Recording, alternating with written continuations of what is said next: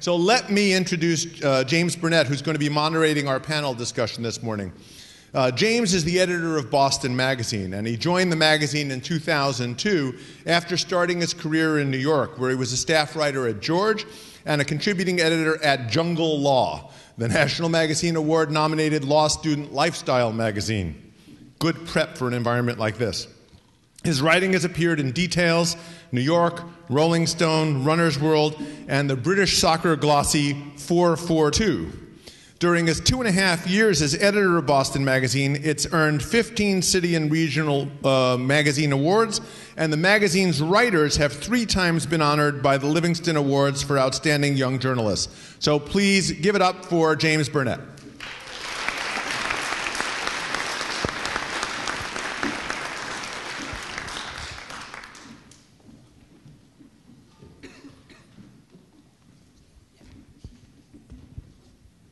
Thank you very much. Wait, is this on? No? Okay. All right.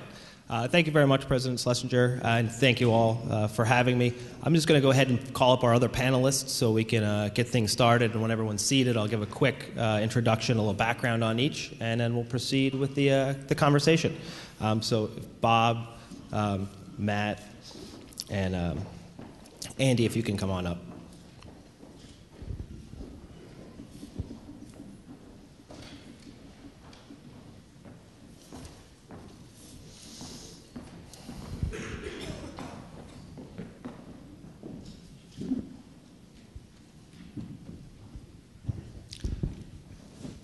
I'll go ahead and start with Matt Lauzon, um, who is a, a Babson graduate and the CEO of Paragon Lake. Uh, he founded the company in 2006 while a student here, and um, as his bio says, he chose Babson because of its reputation as the number one school in the world for entre- entrepreneurship education uh, and leveraged all the college had to offer while exploring various business opportunities.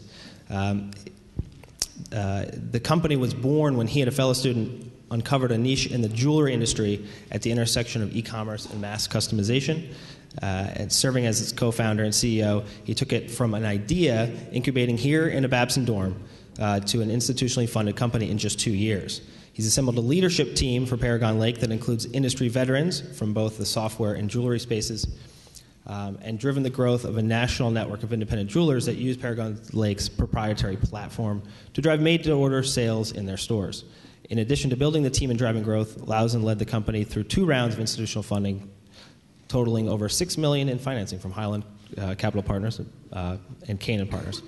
Um, also of note uh, that while at Babson, um, Matt was an Arthur Blank Scholar, uh, was named one of America's top under entrepreneurs under 25 by Business Week magazine. Um, won the Shelby Cullom Davis Prize for Social Entrepreneurship and the John H. Muller Jr. Business Plan Competition, uh, whose winner this year will be announced later on this morning, as I understand it. Uh, next to Matt is Bob Davis. Uh, he is general partner at Highland Capital Partners, focusing primarily on digital media and online ventures. He's been with Highland since 2001. Um, represents Highland on the boards of Bullhorn, Going, Hangout Industries, Name Media, Paragon Lake, and Quattro Wireless, uh, so both Matt and Andy's companies, um, and Turbine, among others. Um, uh, previously, Bob was the founder of Lycos, uh, which was which went from a sorry, it was the fastest IPO in, in NASDAQ history, mere nine months from inception to offering. Uh, wound up as a global media entity, uh, an esteemed member of the NASDAQ 100. Uh, it was later acquired by Terra uh, Networks of Spain in a $5.5 billion acquisition. Um, and he then served as Terra Lycos president and CEO. He's been on the boards of John Hancock, Ticketmaster, um, Lycos Europe, a trustee for the Children's Hospital Trust Fund, the Rivers School, Board of Advisors for Boston College Carroll School of Management, and Northeastern University School of Technological Entrepreneurship. Uh, he's advised the White House on matters of internet commerce and regulation. Um, and has addressed Congress, the UN, National Press Corps, and the U.S. Council of Foreign Relations. And last but certainly not least, um, he too is a Babson grad, uh, an MBA, um, class of 85. Um, pardon me. Finally, Andy Miller, um, CEO of Quattro Wireless. um, which is the world's largest premium publisher of mobile ad network. Uh, sorry, the world's premium, right, publisher mobile ad network. Uh, he was a member of the senior management team at m-Qube previously, the SVP of Business Development and Strategy there, and he was instrumental in setting strategy and driving revenue for what became North America's dominant mobile aggregator. m-Qube was later acquired uh, by, by VeriSign for 250 million in, two, in April 2006. Um, he's previously held the position of CEO for Watchpoint Media, which was an MIT Lab interactive spinoff, uh, sold to Gold Pocket Tandberg Television in 2003. He's got a JD from Boston College Law School and a bachelor's from Union College. Um, so that's our group.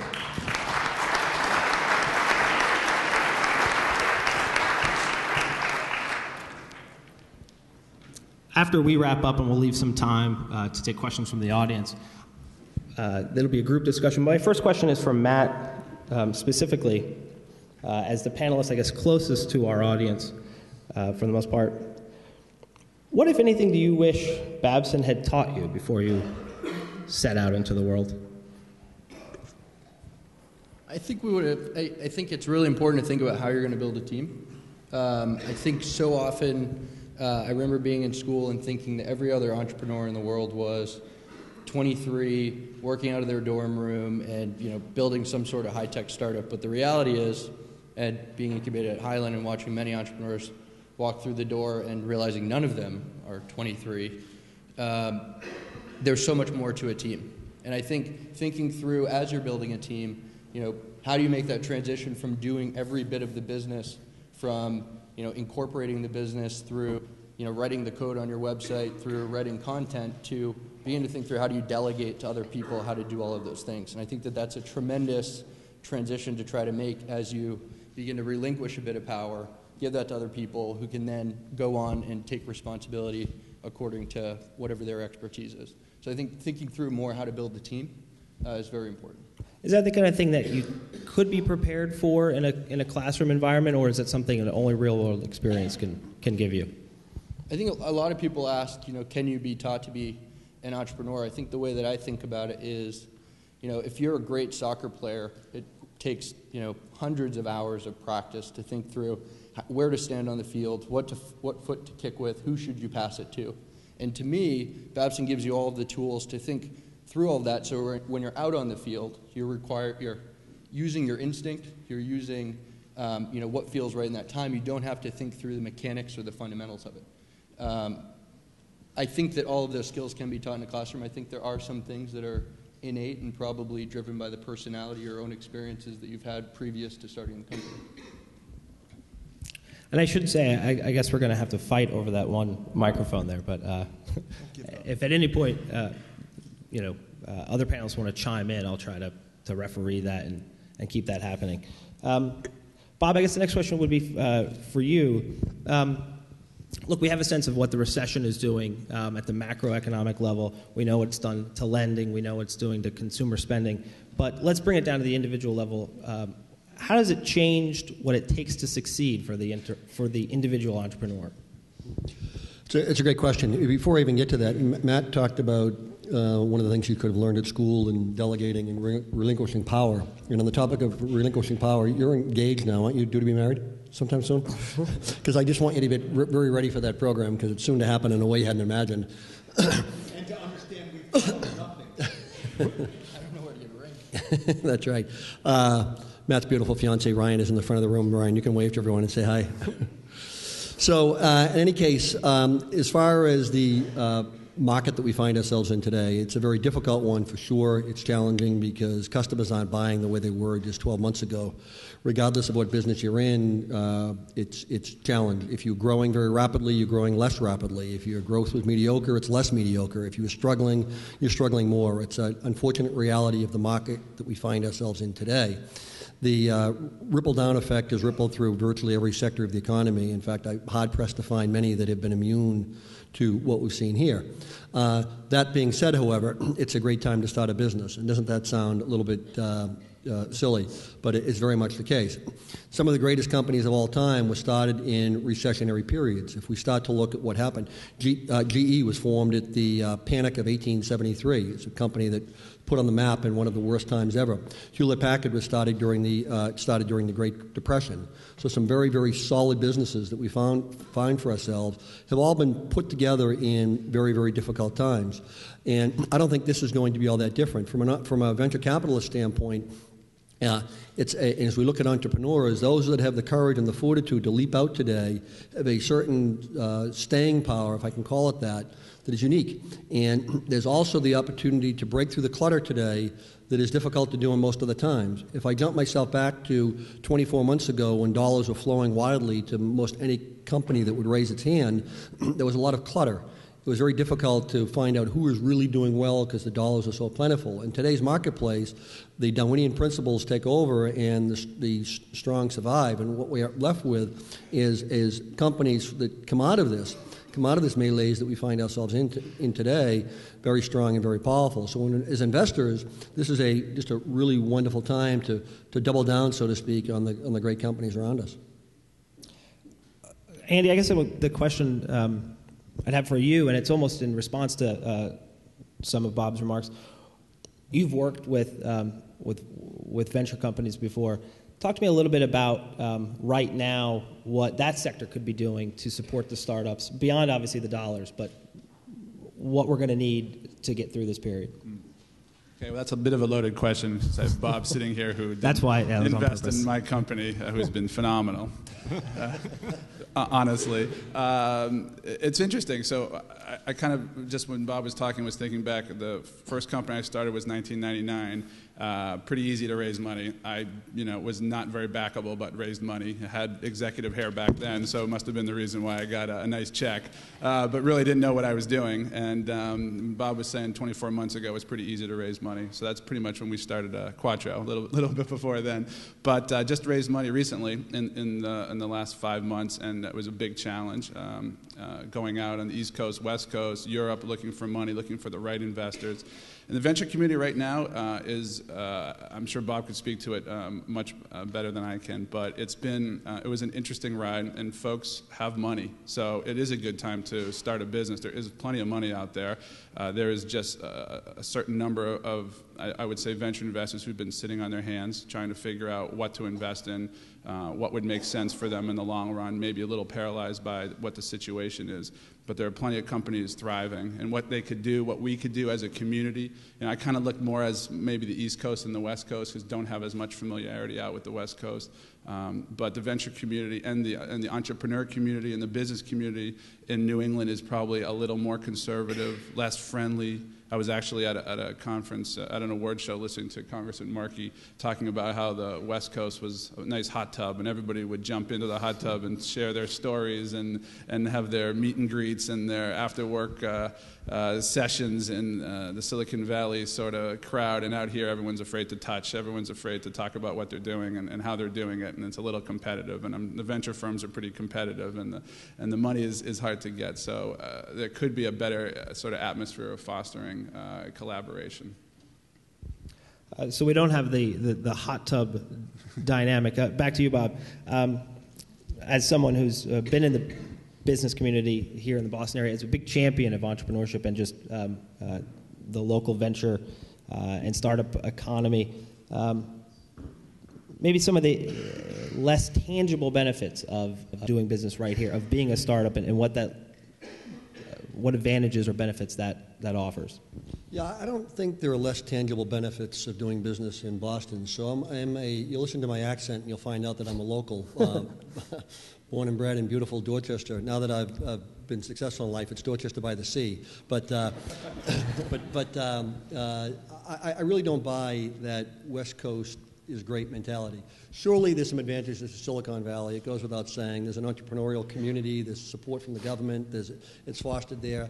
But you know, on, on my left and right, I have two great companies that started in our backyard. 100% of my investments, my personal investments, when I say personal, through Highland, my investments are all uh, Boston-based businesses. Now we're a global firm at Highland, and, and, and, God bless my partners that are that are trotting the, the, the world to find great opportunities. We have an office in Geneva. We have an office here.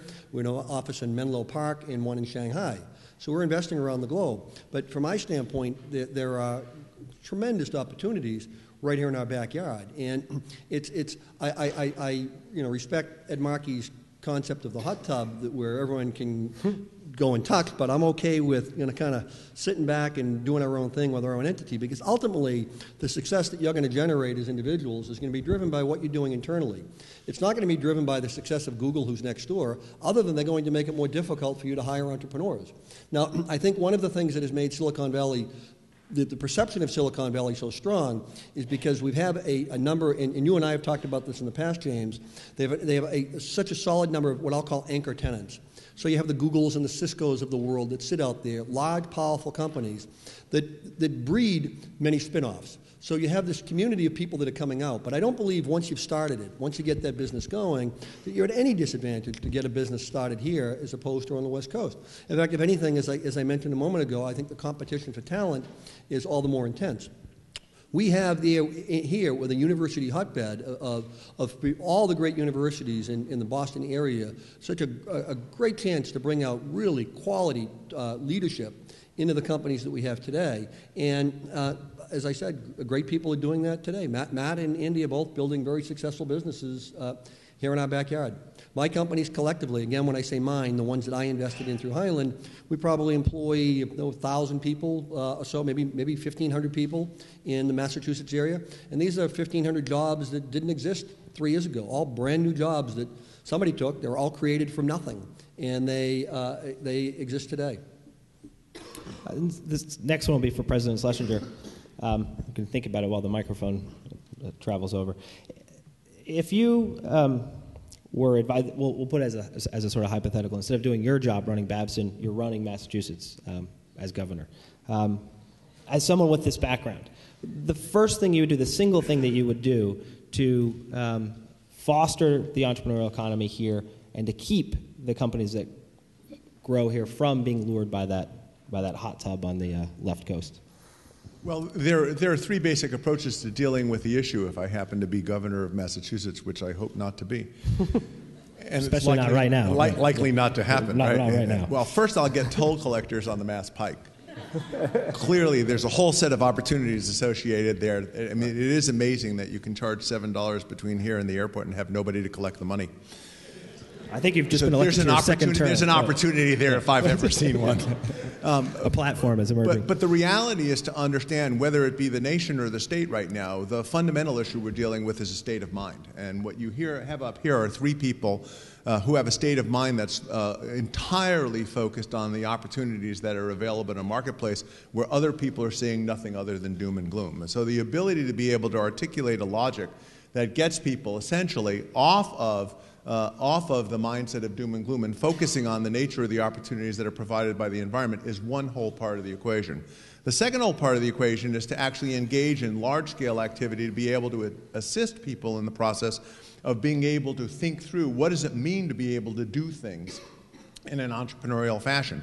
Um, so, one of the ways in which we've talked about it, academics have have a, a, phraseology when they talk about entrepreneurship called necessity based entrepreneurship, which essentially means finding yourself a job. Uh, in the context of the Commonwealth of Massachusetts, the overwhelming majority of the entrepreneurs that we have are from the Massachusetts uh, Entrepreneurship Monitor, which is done here at Babson, are 51 years old generally of an immigrant population, and people who've engaged in entrepreneurial opportunities to find themselves work uh, in the absence of traditional employment opportunities to recognize that that is going to be a considerable lifeblood of the base of the economy right now, uh, and that we ought to be engaging in large scale education in support of those activities would be the second thing I'd be worrying about. Uh, returning to your actual day job, um, as you work through this, you, you, there were remarks you made earlier uh, about the, the way in, uncertainty has increased uh, and how we're operating in a time when um, the parameters are shifting. Uh, what we know, what we don't even know, we know. To sound like our ex uh, Secretary of Defense, um, has changed a great deal. How are you reevaluating, uh, or to what extent are you reevaluating what Babson provides its its students? Does, does the skill set change? Um, do the tools change? Is that an open question? Or uh, well, I think the the answer is one, the the issue that the faculty is dealing with and grappling now as part of the broader community of Babson is how do you augment the traditional business plan oriented, causal oriented skill set that has served us very well over the last 30 years in process of defining entrepreneurship and providing opportunities for people through traditional access to capital and building teams and all the things we're talking about to recognize that some of the assumptions that underlie that model have been turned on its head. You know, the assumption of cheap energy turned on its head. The assumption of easy access to financing turned on its head. The assumption of an abundant skilled labor market turned on its head. So if you introduce new assumptions in an increasingly uncertain environment, the issue becomes one of what are the skills that you need to develop in that environment. No, the critical skill, the most critical skill you need to develop, um, is in fact one of a mindset. Um, we've been playing around with over the past several weeks, looking at things like the the the uh, the historical derivation of the phrase entrepreneurship. So in the literature over the last 30 years, everybody's accepted the basic premise that entrepreneur comes from the French, okay, uh, where all work activity seems to start. Uh, and uh, and uh, and it turns out, okay, uh, at least according to one organizational professor, organizational behavior professor at IIT Madras in India, that uh, that in fact the phrase entrepreneurship is defined from the Sanskrit entreprenana, uh, which means an inner urge and a state of mind. And to some extent, what we're really talking about is capitalizing on the inner urges of applicants that come to this school and kind of combining it with a state of mind to energize activity in a world that Bob has already defined it as loaded with opportunities while most of the other people in other institutions are sitting around worrying about problems. Matt, one thing, um, I guess, and this actually is something you, you share in common with Bob, and that was the uh, speed with which you were able to turn an idea into a functioning company. Um, two years in your case, we had the, the nine months to IPO. Um, so this, I'd like you to weigh in on this as well. In, in very practical terms, what are some things you can do to build momentum? And this would apply to any startup, but again, when we have inertia in the economy, a sense that the, the world doesn't feel like it's moving forward in the way that we are accustomed to, how can uh, a founder keep things moving and, and build that, that critical momentum? So, to first correct, I don't think our company has been nearly as quick as Bob's. but I think the importance, particularly in this environment, is focusing on building number one, a, a sustainable company. Number two, making sure it's a st- sustainable business model. I think, you know, I wasn't around for all of those days, but I think gone are the days when you can sort of build it and they will come. I think you have to figure out how are you going to make money, focus on that, and prove that you can do that, and figure out in a short time frame how, what are the economics of your business, uh, what's sort of the reproducible sales model, reproducible revenue model, and then if you're going to get funding, go out and do it at that point. Um, I think better yet, don't get funding. You know, find a way to fund your own business. I think the vast majority of entrepreneurs never take uh, a, a, dime of institutional money. I think uh, in that Economist article that we're talking about, um, most entrepreneurs take it from friends, fools, family. We talk about it here at Babson. So I think if you can find a way to fund your own business, that's hands down the best way to do it. Um, I think the reality is that probably doesn't translate to quickly getting a company off the ground. It's not a quick process to build a great company. I think even Lycos you know, took some time to, to, to, build. Paragon Lake certainly will take some time to build. Quattro, I don't, I don't know where you guys are heading or what the exit strategy is, but I think you're probably building a company that can live long and prosper on its own. So I think that that is um, very important.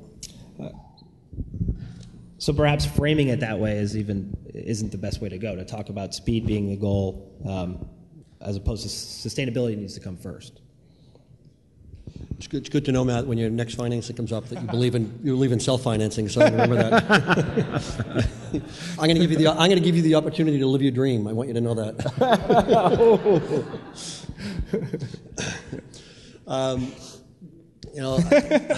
I, uh, I wrote a book in 2001 that you can find in any antiquities dealer around the Commonwealth today. It was called Speed is Life. So I'm a, a believer in uh, acting swiftly in the marketplace in most everything that we do. I think that uh, fast is always better than slow. It, it doesn't mean at the area of, it doesn't mean be reckless. It doesn't mean be foolish. It means that we live in an environment where competition is moving all the time. We want to be decisive. We want to be swift. We want to avoid analysis paralysis. We want to have good business judgment that is always overlays it, but we don't put, ourselves into a state of perpetual planning, which so many uh, businesses often are capable of doing. that I can analyze something from every angle. And you know what? After all the analysis in the world, which is appropriate, the analysis is appropriate. I'm not, I'm not trying to suggest it isn't. But after all the analysis in the world, there is rarely an answer that is so black and white that says, this is what I must do. It's ultimately good good business judgment, it's intuition that says follow it. And I think it's important that we accelerate the process. What you can be sure of is when a good idea hits the marketplace, there will be copycats. Whatever you're doing, wherever you are, there will be something, somebody that's doing something similar. Uh, there will be another uh, equivalent to Paragon Lake. I hope not nearly as successful as we are today, but someone will try to do it as soon as Matt continues to get traction. Andy runs the uh, largest mobile ad network in the world for premium publishers. And for sure, there are copycats out there today and will continue to spring up that are trying to do the same thing because they see an opportunity to make a buck. And if either of these guys were to sit back and, and take it easy and take it slowly, we would give the, the competition opportunity to not only catch up with us, but to surpass us and leave us in the dust. It's a, it's a very, very dangerous place to be. So I think acting uh, swiftly is real, very, very important in the, in the area of, a, of an entrepreneur. And, and, you know, back to Matt's comments, because of course, as a VC, I'm not doing my job unless I tell you about better source of funding mm-hmm. than self-funding. But reality in the marketplace today, 10, percent of jobs in the U.S. economy, 9.8% of jobs in the U.S. economy are VC-backed companies. That represents 18% of the GDP, which means we're backing higher paid jobs as well. So, an amazing piece of the workforce today is, is driven by VC backed activity. You're right in the sense that you can back your own business, but I would, say, I would suggest that most large successful uh, startups out there were not personally backed. They required venture capital or substantial institutional capital because it's tough in today's marketplace to get a, money, uh, a business going with small money. It takes a lot takes millions of dollars to, to, to, succeed. Andy, what's the total financing we've raised at Quattro thus far? 28, $28 million for a company, and I would guess, I don't want to predict the future for Andy, I would guess there'll be additional financing raised in his future as well. And that's the magnitude of what it takes to get a business moving and off the ground. And, and Matt uh, raised $6 million. So unless you're coming from the Rockefeller family or the Gates family, it's a really difficult thing to do. And I think you make the danger back to speed is life. I think the big danger you make as a, as a young entrepreneur is saying, well, I can do this, I can do this, I can do this and avoiding that step into institutional capital, and you put yourself behind the eight ball because you're trying to push it for too long, and you're just trying to hold back, and you can't put your foot on the accelerator because you don't have the resources. You can't hire that one extra person that you need. You can't buy that one extra c- computer that's necessary. You can't get out into the marketplace and find customers the way you should. And that's, a, I think, a, a, a dangerous place to be. So, not because I'm in the business, uh, uh, I, but I believe very firmly that institutional capital is a great way to, to go and to do it very early. And I would say to tag along, ultimately, we at Paragon chose to take institutional capital. We originally planned to raise angel financing. And I think we said there's a huge opportunity here. If we take a, a, a smaller amount of money, it's going to take us too long to get to that goal. So we wound up going out and raising the VC, building the team, and getting sort of the luxury of being able to move fast and capitalize on that opportunity, which I think is very important to note. Um, I had a question for Andy in terms of uh, we're, talking about um, the importance of speed and um, uh, and also uh, what competition can do. I mean, you're in a very uh, it's a hot sector to put it one way. Um, the biggest player, but not the only one. When you talk, when you think about the balance of how much time you focus on um, growth and long term, and the day to day of managing something that's still very new, how do you how do you juggle that? That's a great question. So we are in uh, a pretty crowded space. Um, sort of backing up the point here, we were one of the last ones into the, uh, mobile advertising space, uh, I think, before sort of the window on funding closed and companies really got a, a ground uh, hold on uh, publishers and advertisers and, and, a stake in the market. So it would have been very challenging now to come into the space. And if we didn't have the financing we, uh, we did at the time and gone as fast as we, as we went, uh, we probably wouldn't be around today because we are starting to see companies that just didn't have the financing, didn't have uh, the plan, didn't execute well, already falling by the wayside two, three years into a market. Uh, but we're constantly, especially being in mobile, constantly thinking about the future, uh, which in mobile happens very quickly. So mobile is like a dog year. In one year, things change so fast. So in, in three years, we've seen the iPhone happen. We've seen the Android uh, platform. We've seen applications. Uh, we've seen our space just get on TV every single day with Apple putting ads for the iPhone and people going to the mobile web. Whereas uh, when we sat with Bob three years ago in Highland, it's something we never would have imagined that we could draft behind. So we constantly have to think about what's the next platform, what's the next handset, what, what's the next segment that's going to enter mobile, uh, and it's a it's a day to day gig, that's for sure. So the key with that is is the team and putting together folks who um, work on the day to day and folks who can help on the on the future, and, and, and at the same time have a group who are really executing and moving the business forward. What's uh, can you give me a little bit of your sense of, um, I guess, both on the philosophical level uh, and then more practically, how you evaluate talent and, and, and how you do. I mean, it, that's something everyone on this panel um, has in common: the need to get the right people. It's not the easiest thing to do. It is true, there, and I was thinking about uh, the panel uh, uh, driving in and thinking about starting a company and some of the words of wisdom I got. And I started, my first company was uh, with a, a, student who was a senior um, at MIT Media Lab, did his senior, senior thesis at uh, MIT, and we licensed his, his, um, his senior thesis as a product uh, to, to, build a company and raise some financing around. And so this wasn't like someone that I knew for years or my buddy from school who I wanted to start a business with, and we were sort of thrown together. And this was not someone who you know wanted to wake up at 8 o'clock in the morning and go to work. This is someone who wanted to wake up at 11 o'clock in the morning and you know, watch Jerry Springer for a little while and then maybe come to work. Uh, and there's, you know, there's rule number one, right? So you got to pick your partner who's got the same work ethic as you, who has the same idea of what he wants to build with a business, uh, what exit they want. Some people want to build a little nice lifestyle business. Other people want to build the next Lycos. And if you have different dreams, you're going to clash. You really have to start with folks who um, know who's the boss, who's making the decisions that's a big one. Uh, definitely pick partners who have different skills than you. It's great to, you know, be a real uh, mind meld with your partner, but if you have the same sort of business development uh, mindset, then you're probably going to have troubles on the product side and, and other aspects of the business. So it's important to have that sort of baseline.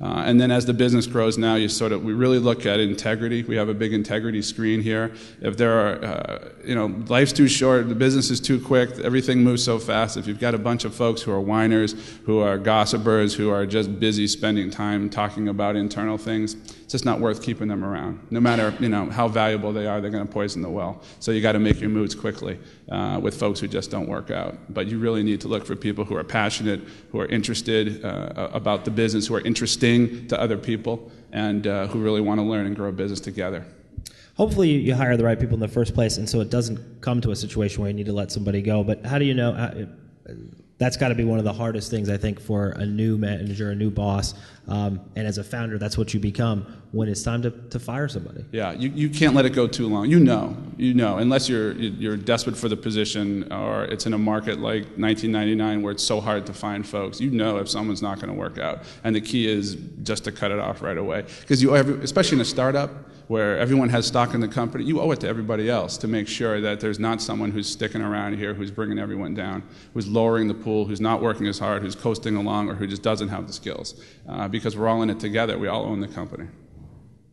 Bob, when you're looking, uh, you're obviously looking at the, at the business plans um, when people are coming to you, but you're also looking at the talent um, behind them. And talk to me a little bit about your screen and how you how you read that when someone's coming looking for funding. Yeah, it's not a lot different than what Andy just took you through. When we invest in a company, we look for three things. And this is the order, which is surprising to many, but we look for people, markets, products in that order first and foremost, top of the list is people. And as an entrepreneur comes into our facility, facility, they'll sit down and bring out their computer and want to take us through PowerPoint after PowerPoint of what they have. And we'll say, hold on a little bit and, and tell me about yourself and where you're from. And somebody will usually start with their last job. And I'd say, back up a little further. And they say, to where? I said, maybe to the day you were born. And we'll get through someone where they were, where they were, where they were raised, what they did in high school, what they did in college, what they studied, uh, uh, what the decisions they made, and really want to hear hear about, from somebody, want to hear the passion in their voice, and that's a big part of it. We get into well into discussion before we're talking about the market and the product that they have, so that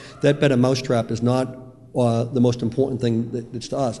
And then it's such a subjective thing anyway. When you say what makes a good person, well, what's a good person to me is different than what's a good person to you. But but I have my criteria because because top on that list, or high on that list, is chemistry. And you might be a wonderfully talented entrepreneur, uh, best that the country has ever seen, but we might not be right for each other for any number of reasons. Because when we co-invest, which means when you invest your time and your effort and your resource in such a big part of your life, and we invest our capital, we're going to be working together for many, many years.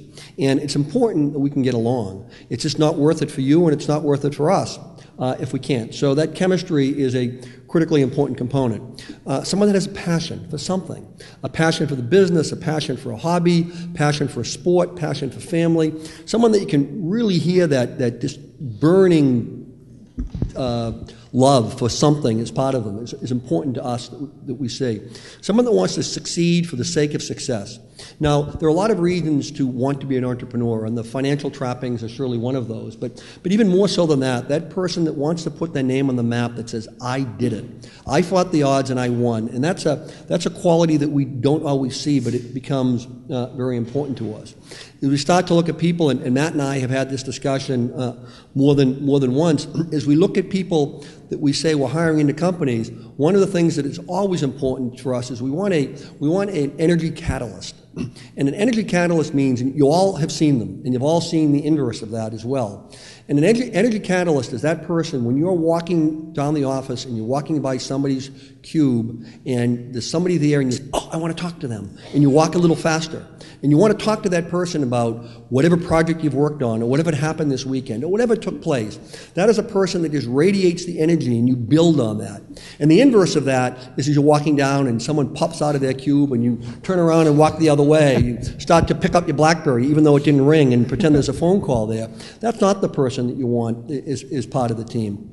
And then lastly, we want a person that, that believes that they are going to be whatever the role is that you're hiring for. We want a person that believes that they are the best or will be the best that exists. I am the best CEO in the Commonwealth of Massachusetts. I am the best Java programmer that exists in all of the country. I am the best salesperson that we could ever find. And a person that believes that, with that take no prisoner attitude that says, I am going to be it, becomes a magnet. That's the type of personality that, uh, not an arrogant, by the way, egotistical way, not someone that goes around pounding their chest. That's not what you want to see, but someone that believes it deep down. The person that's bragging about it, get out the door as quick as you come in. But the person that believes it deep down, that that's what they are doing, either they are or that's what they're out to, out to accomplish, is that winning attitude that's just, just so important.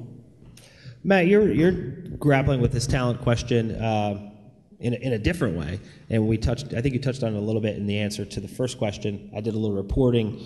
Um, before we started here and I talked to one of your, uh, your old professors here at Babson uh, who gave me the scoop that you're, you're looking to, to step aside um, and to do a transition at Paragon Lake. How do you manage that process? You're the founder talking about now hiring the CEO. You're entrusting your baby literally with someone. That, that's got to be a, a, kind of a fraught proposition. And how, how, have you worked through that? I think you manage the process by managing the process. Uh, one of the first things Bob and I talked about when we came to Highland was, you know, how do you feel about hiring top quality management team? And if it came down that the, there was the right time to bring a world class CEO, would you do it? How do you feel? I think most people feel like that would be an awkward conversation, but frankly, it wasn't. I, my personal feeling boils down to three things. Number one, if you believe that a great CEO brings A plus talent into every single person on the roster, and we do. When we get new people, we make sure that they pledge that they're going to be the best at whatever they do why wouldn't that extend to the CEO?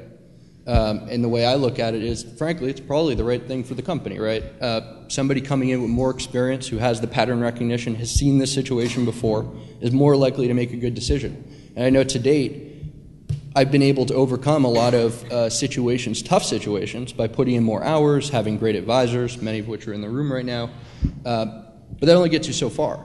So having the opportunity to bring someone in who's done it before, which we have found the person, they have signed a contract, and they start next month, and I think when everybody sees who this person is, everybody will be very excited uh, about her background and what she brings to the table.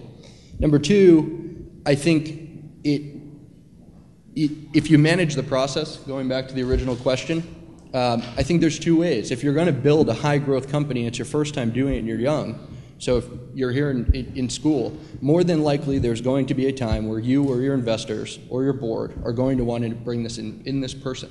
So you can, one, fight the process, or two, you can embrace the process and realize how of an opportunity is. And I think that allows you to meet all of the candidates, that allows you to apply filters such as could this person be a mentor? Can this person manage the board? Can this person instill the values that I believe in as we build an organization? And I think the third thing is, in my own situation, a lot of the other founders I talked to um, were technical founders. So either they identify as serial inventors, uh, they identify as uh, true technical people. They want to be the CTO. They don't want to worry about the business thing. In my case, that's not what I want. Uh, what I want to be is the best CEO in the world. I'd love to start another company and see it all the way through. But the way I look at it is, do I want to learn that on my own dime, on my investor's dime, on everybody else in the company who has shares dime? Or do I want to sit on a board with and work alongside a world class CEO who's done it before? And ultimately, the decision we made, and I think you hear a lot of horror stories about you know people going out raising financing, all of a sudden somebody gets forced in. I think it goes back to chemistry. Bob and I have always been on the same page. The other people in the company have always been on the same page, and the opportunity to bring in a world class person uh, wasn't a question. Um, President Schlesinger, for you, it, it works differently still. Um, you're evaluating talent and the, the promise and potential in applicants, uh, whether it's undergrad or uh, for the MBA program. But then you only have them for four or, um, or two years. Talk to me about the, the habits you hope um, you're able to instill uh, so that we get a kind of lifelong learning, is that talent can grow regardless of the environment uh, in, the, in the workplace, so that uh, builds on itself over a lifetime. What we have to do at a college level is logically derive from the conversation that we just had here. Because what you heard here from the three folks, uh, all of whom got significant venture experience in terms of the dynamics of, of an early stage venture, is uh, assemble the team carefully and slowly and cut the cord quickly when it becomes obvious that someone's not going to fit. Um, and, uh, and that generally is exactly the opposite about how most of these ventures actually get developed. In most of these situations, we romantically get attached to people for one reason or another. We like them, they get excited about one thing, we bring them onto the team, and then we're enormously frustrated about their inability to provide the level of support that you expected, but we can't cut the cord. And so the first issue is are you really thoughtful up front about the process, about how you bring people on? So you think about it as a college, you have a requirement above and beyond all of the obligatory um, aspects of, uh, of an admissions process to recognize at the core that you have some of those fundamental uh, variables of passion and inner urge that Bob was talking about here. All we can do, and so be clear, all we can do within the confines uh, of an educational environment is really kind of sharpen those capabilities, sharpen those orientations, put a skill base alongside that passion, uh, and help people to build the networks that are necessary for them to go forward. I think probably you all will have better questions uh, than I do at this point, but I wanted to ask one more. Um, I've been I've been putting several of you in, in hypotheticals, um, so I'll let you ask a question back to me if there's anything that you want to hit on uh, before we open it to uh, to the floor. So we have two microphones, one uh, there and the other one there, and uh, someone needs to be brave and uh, and ask the first question. This very distinguished panel, these great entrepreneurial minds a once in a lifetime opportunity uh, to pick their brains.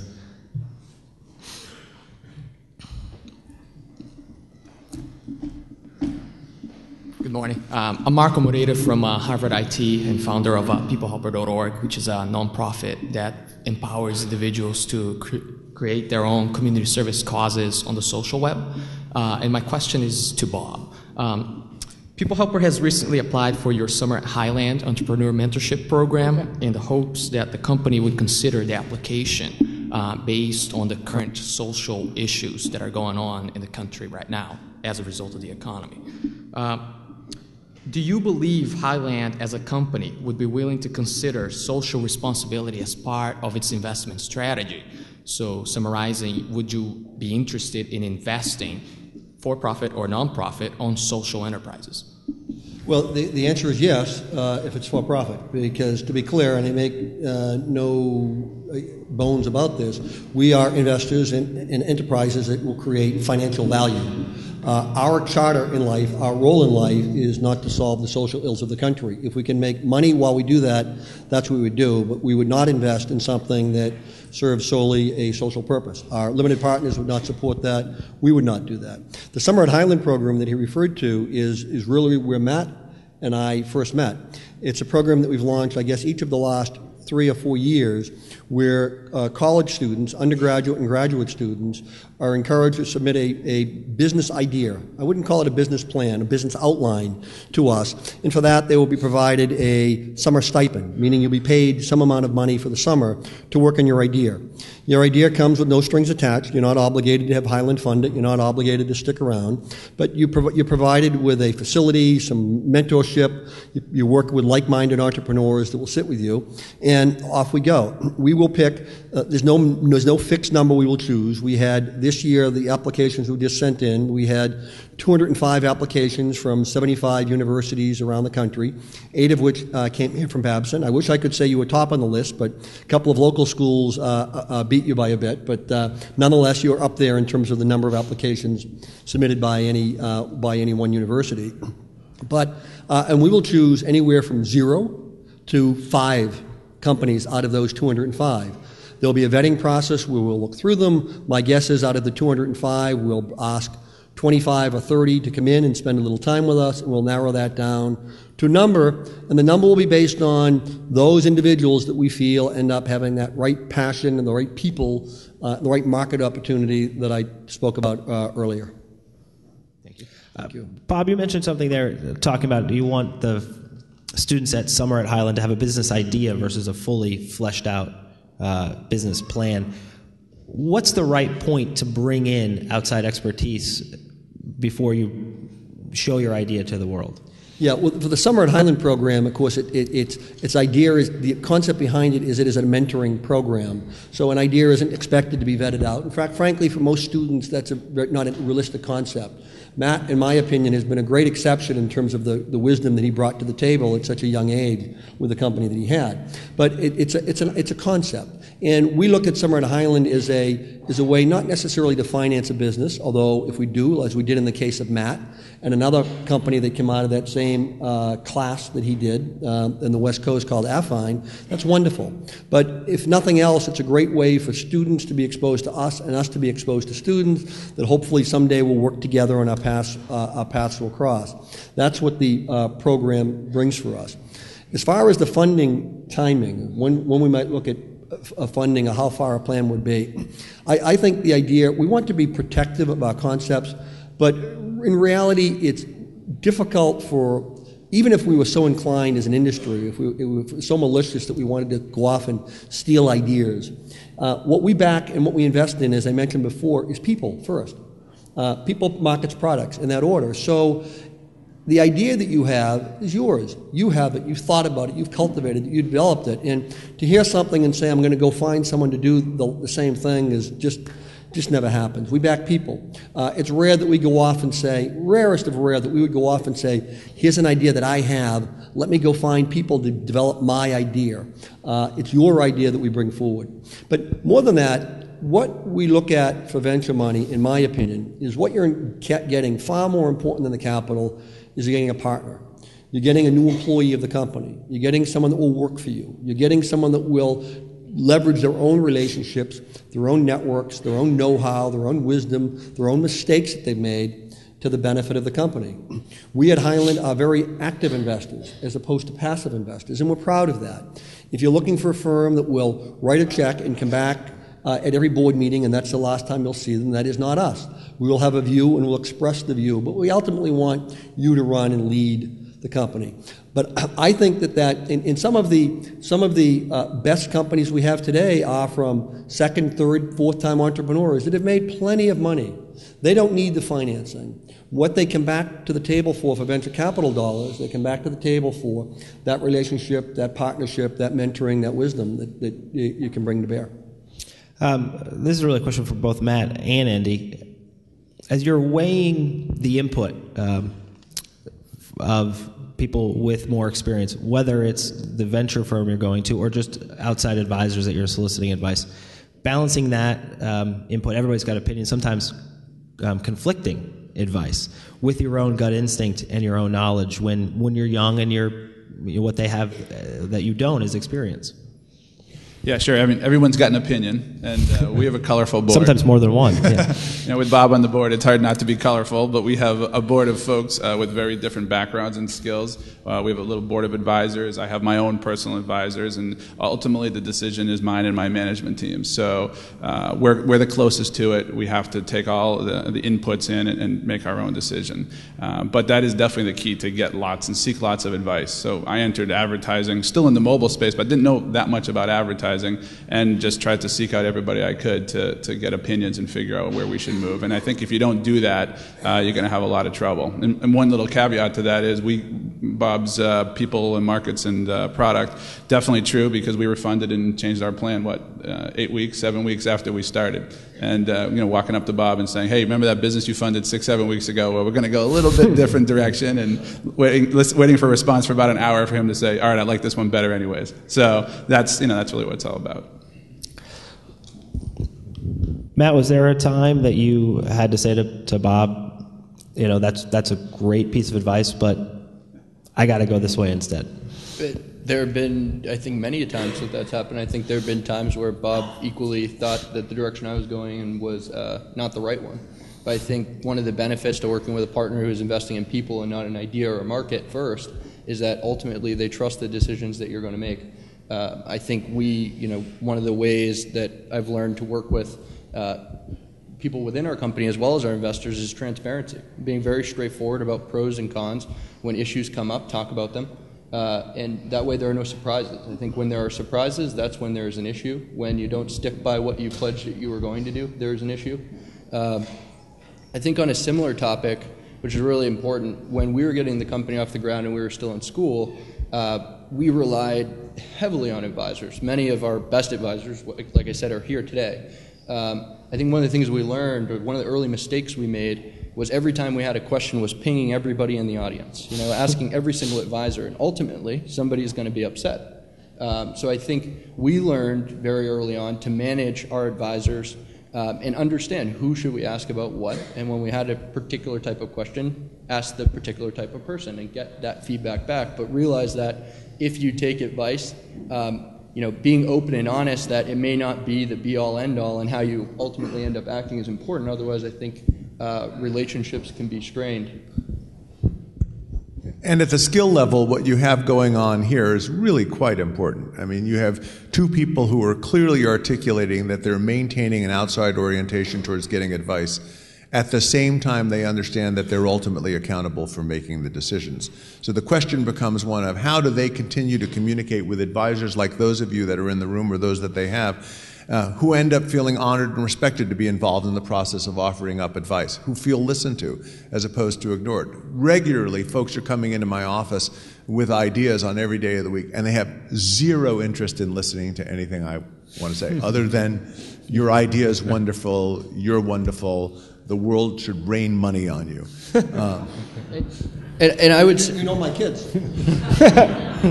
I, I, would say it is, uh, you know, early on when we were getting the company up and going, we were still in school, is very, very, very dangerous to listen to every piece. You know, you've got to listen and absorb every piece of advice, and ultimately that's going to shift your opinion. But to act on every piece of advice is is dangerous, particularly when you're talking to investors. Every investor you talk to is going to have a different uh, idea of what the optimum business model is.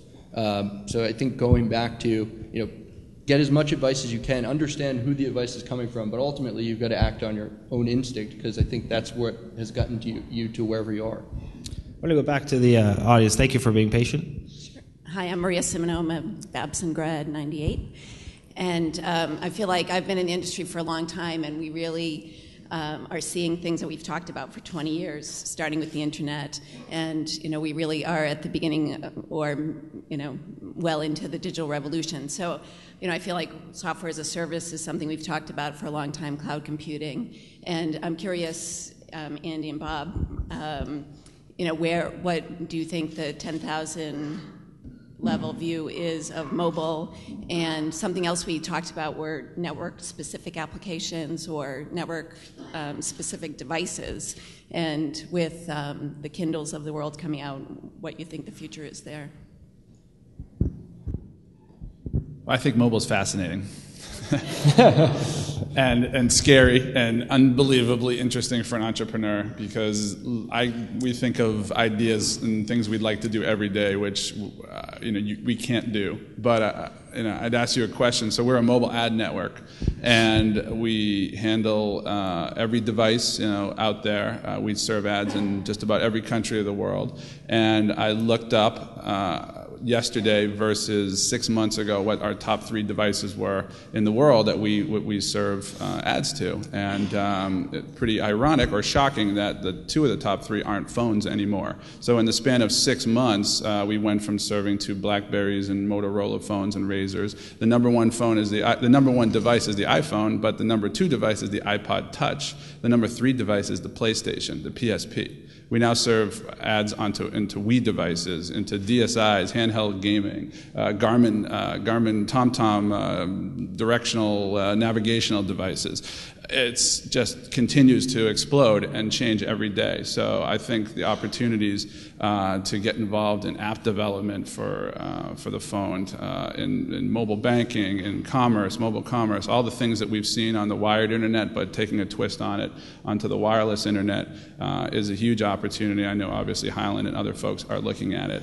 But by the end of this year, more people will access uh, the internet on a mobile device than on a PC and there's already way more mobile devices than PCs and TVs combined. So from a uh, entrepreneur uh, opportunity, I don't. I think the, the, opportunities there are endless. Yeah, I have to echo that, unfortunately, but maybe not unfortunately echo it. but you know, I'm asked all the time what the next big thing is, and the next big thing is the yesterday's old thing, and that's exactly as Andy said. It's the mobile device. It is the power of that is mind-boggling as to what we'll see. Uh, by a show of hands, who does not have a mobile device on them today? So there's uh, two, three people in the room brave enough to raise their hand, and all of us have a mobile device. And if this was 10 years ago, maybe one or two of us may have raised our hand. And what's powerful is the device for most of us three years ago, and for many of us still today, was just it was a telephone, and that's the sole purpose it served. But increasingly now, with every day there are more of us that make that leap that telephone that's in your pocket is, your, is a principal, if not a primary source of data. So you're getting sports scores on it, you're getting stock quotes on it, you're communicating it. If not via email, surely with text messaging, with communicating with one another. It is becoming the central hub of computing uh, in, in, the, in the environment today. And as the technology continues to, continues to advance, that becomes more important. One of the challenges of mobile uh, computing, if I can call it that, in what in the problem that Andy solves is that with so many different cell phones and manufacturers and so many different cell phone companies such as Verizon or T-Mobile or Sprint, it's, it's difficult for a publisher of content. So if you're the New York Times or Boston.com or, or Yahoo, to have it look presentable on this tiny little screen you carry around in your pocket. Because it looks different for all of them. They all have a different little format. Well, a big piece of what Andy's company does is it takes these websites and it works a magic sauce, throws it in a bucket, and it comes out on your cell phone and it looks very presentable. So he has the, some of the biggest brands in, in out there where he creates their content for them with technology. The NHL, the NFL, Boston.com, Univision, Blocky Playboy, uh, and many others where Andy produces, I say produces, takes their web content and puts it in a, a format that's acceptable to a mobile phone, regardless of whose phone that is that you are carrying. Now, on top, and that serves a big, big demand for a publisher in the marketplace because that's a big task. And for the most part, I don't know how to do that if I'm publishing a website. It's complicated, it's complex, and to try to do it for everyone is, is difficult. Now, the next step, in terms of when he says he's an ad network, the way he makes money after he's done that is he'll put an ad on that device with the publisher, and they'll all share in the profits that come from that ad. So he'll lay something out. He'll, he'll, the uh, New York Times will put a uh, piece of content out there. The ad that will be on your cell phone is something that gets served by Andy's company. But we went from zero two years ago to uh, what, what, how many p- impressions are served now a month or a day or whatever? Two to three billion a month. So two to three billion cell phone views of data a month coming through Andy's company from zero two years ago. And I would venture to guess that if we're in this panel, if we're invited back a year from now, we'll tell you that it's 12 to 15 billion a month. And a year from that, we'll tell you it's 50 to 100 billion a month in terms of impressions being served because mobile is changing the way we do everything.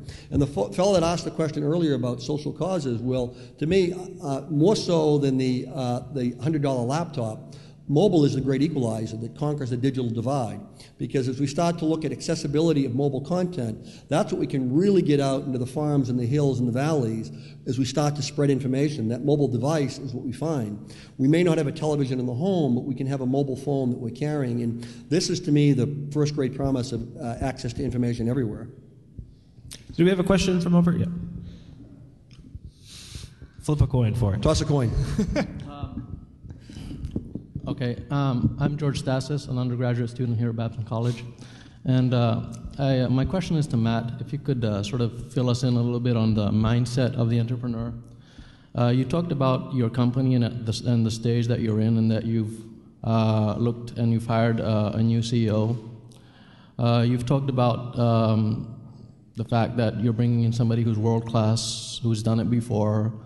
Um, you talked about the fact that your skill sets are probably not appropriate for the stage that your company is in now, um, that you're not going to be learning on your dime.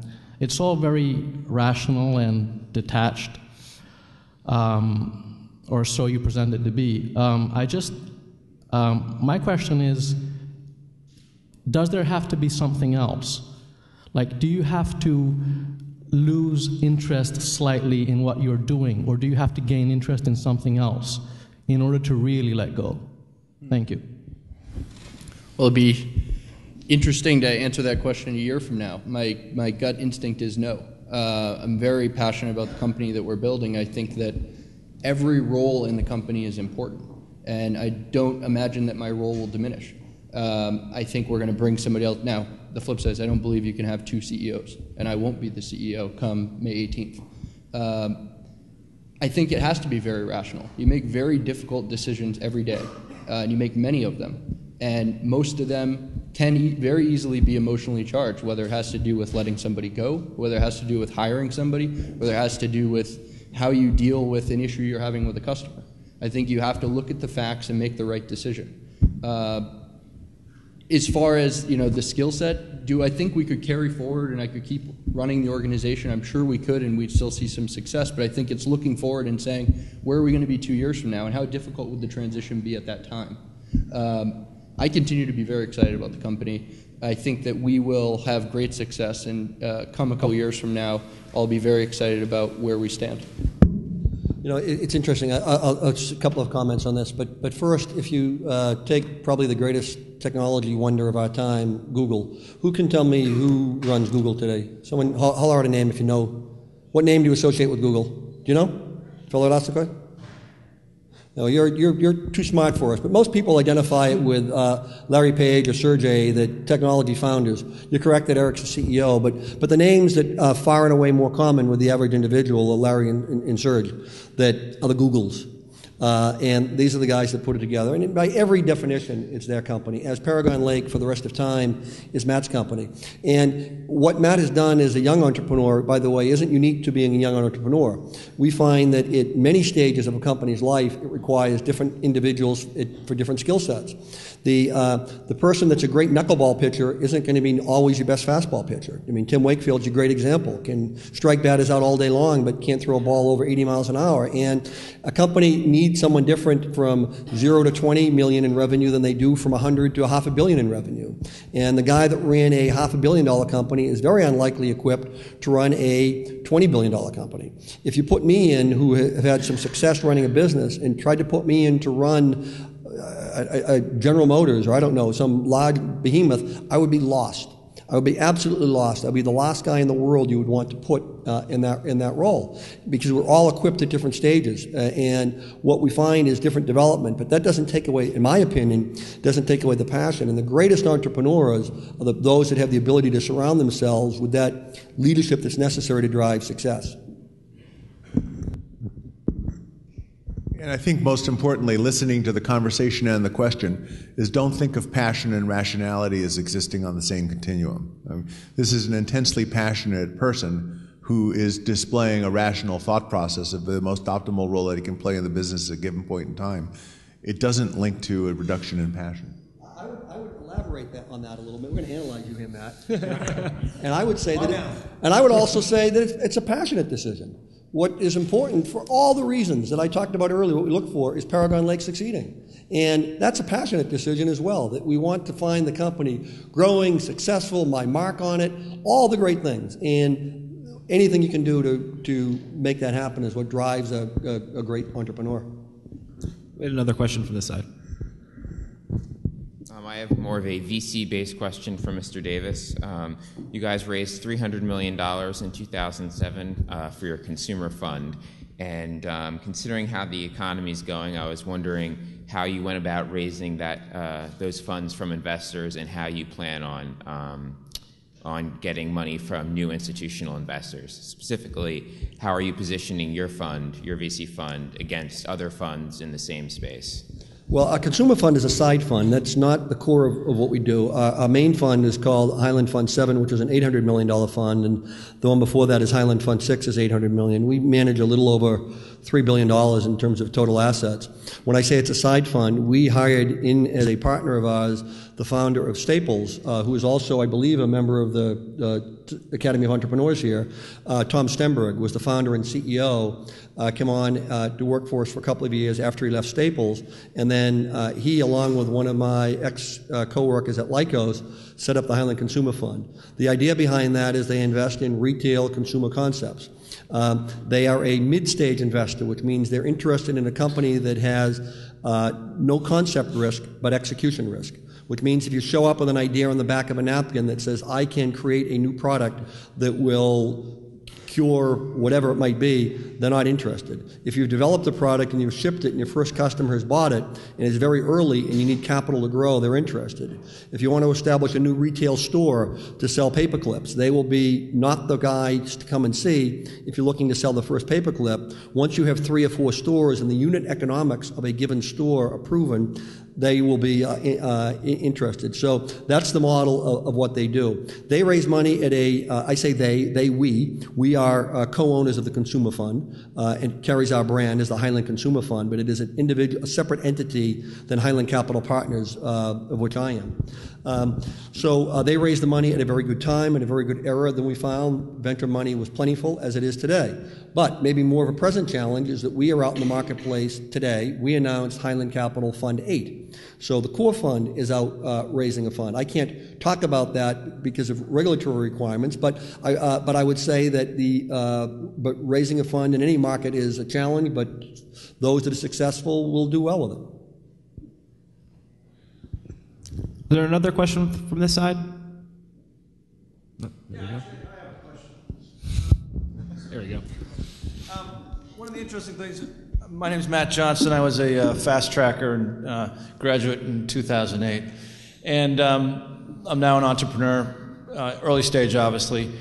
One of the things that I've read and, and about to experience as I go out uh, with my concept was uh, the fact that the seed stage or the zero stage funding level, uh, which was you know in between friends and family and the angels, you know angels have gotten very sophisticated and they're really acting like VCs. And VCs are, by nature, trying to get things that are a little bit farther down the road. And I just wanted some feedback from anyone on um, ways that you know there can be better access to funds. You know, Spark Capital's just got their convertible loan program that they announced. That they're not the first one by any means, um, but really getting that zero stage uh, funding with you know fifty thousand to two hundred fifty thousand dollars just to get something going, so that you can approach you know Bob Davis later on with something that's got some traction.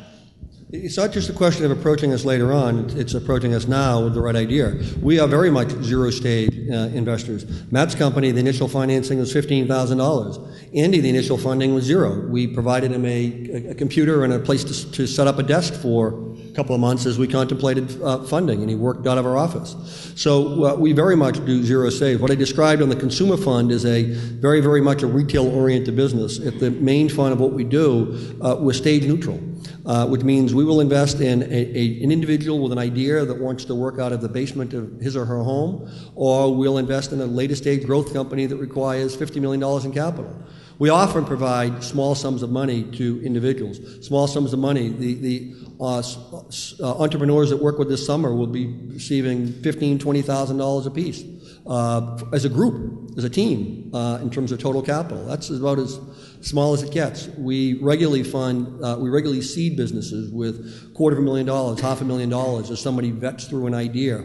We regularly bring people on without an idea fully vetted. So we bring into Highland, uh, we call it an entrepreneur in residence. So we'll bring in a, a, smart, bright person that we have a love and a passion for, that we can feel their own love and passion for, for succeeding. We'll bring them in to work with us as a, as a paid independent. But the idea is to blossom your idea or blossom a thought. Don't know what it will be, but I know you're a good entrepreneur. Come and work at, with us at Highland. We'll provide you facilities, computer support, whatever you might need, and spend six months or spend a year coming up with your, your great idea as to what a business might be. And then, if you're interested, we'll provide uh, financing. But we won't guarantee we'll finance the company, and you won't guarantee you'll let us.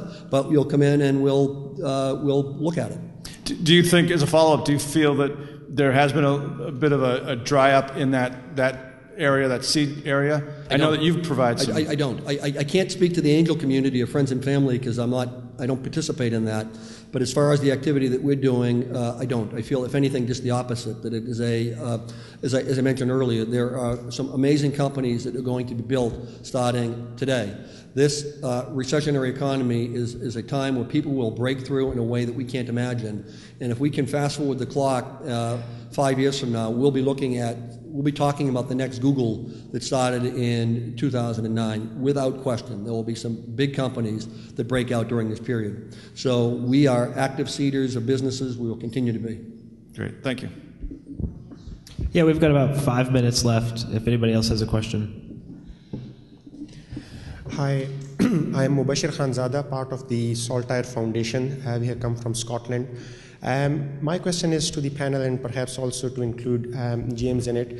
You talked about being the best and um, the best CEO or the best entrepreneur. My question is that how do you measure being best? How do you know when you have become the best and, and continue to be best?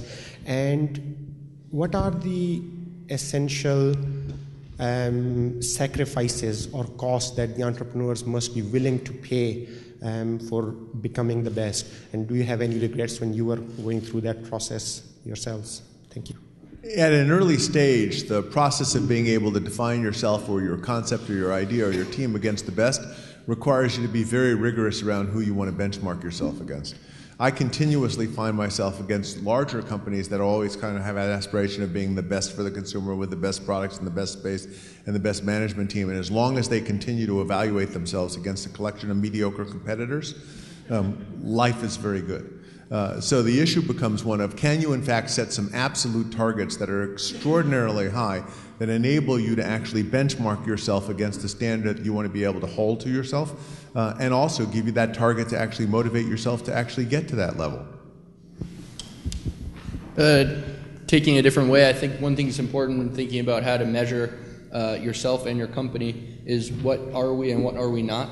I think it's really important to say, it, it, as important as setting a goal that you can achieve and your company can achieve, and early on as an entrepreneur, you personally can achieve. Uh, I think it's very important to say, what aren't we going to do? And I'll help you focus. Uh, I think early on, uh, when it's you know a company of one and you're trying to get something off the ground, a lot of uh, best is happening up here uh, because you're going to have uh, over and over and over again people are going to say no you can't. That's a bad idea. There's no way that's going to work. Uh, you're too young. It's such a bad economy whatever it might be. And you're going to have to convince yourself that you're the best. And I think it's a fine balance between um, believing that and not boasting about it like Bob talked about and I know in our company one thing we talk about when we're hiring people is we're hiring people who want to be part of a winning team. You know, they see winning as a currency. Um, going to work every day is exciting for them because they're beating challenges, they're meeting challenges, and they're part of a winning team. So I think for us, we measure ourselves: are we the best at keeping our company uh, winning? Uh, and you know, it's vague; it's not uh, as clear as maybe as it could be. But I think it helps us stay on track. Thank you all for the questions from the audience, uh, introducing those last round of provocative topics. Thank you, panelists. If I'm correct, I think you'll give us um, the programming notes about what comes next. And uh, once again, thank you very much.